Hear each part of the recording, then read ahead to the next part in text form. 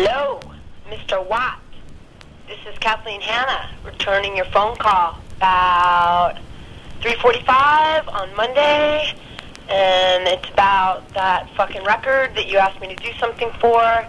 And I guess I'm responding to that now because I have a few minutes, and I just wanted to tell you, uh, I have a friend who was raped by, fucked by, whatever you fucking want to call it, the guy who's on your record, gonna be on your record. He was a big rock star.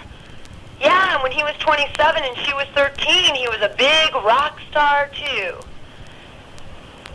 And uh, I don't know if the phrase power imbalance means anything to you, but uh, I'm just not so sure I want to be included in your little white rock boy fucking hall of shame here, you know? And I'm just like, do I really want to be sandwiched in between some of these guys that are just doing the whole like big white baby with an ego problem thing?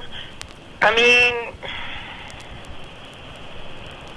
get over it. It's so boring. It's like a lot of these guys should just fucking quit music and become lifeguards at like Wild Waves or some shit so that they can just like get their fucking you know anger management thing going. They can just get their power trips out on the kids. They can just do the whole thing.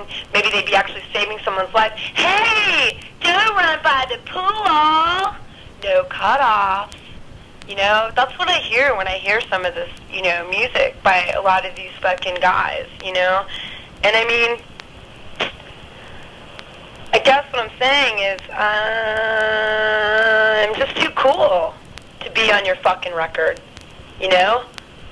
It's like, I really don't want to perpetuate or be included in a thing where it's just a bunch of like, I don't know, just like this new, the music coming out by guys right now in like the sort of like rock world or alternative rock world or used to be punk world or whatever. It's like, the whole I'm a straight white middle class male rock star guy, but I'm so fucking oppressed. I'm a loser, baby. Why don't you kill me? Uh, yawn, like super fucking yawn. So, yeah, I guess what I'm saying is no, no, no, no. I'm not interested. No, I don't want to be on your fucking record. No.